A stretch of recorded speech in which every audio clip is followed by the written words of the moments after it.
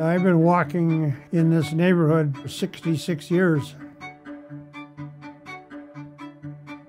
I think it's partly hereditary. My dad was a walker, he liked to walk. In the last five or six years, I've stopped to rest more often. My neighbors have seen that, so they've been starting to put out chairs for me. They figured that uh, this old guy needs a place to sit and rest.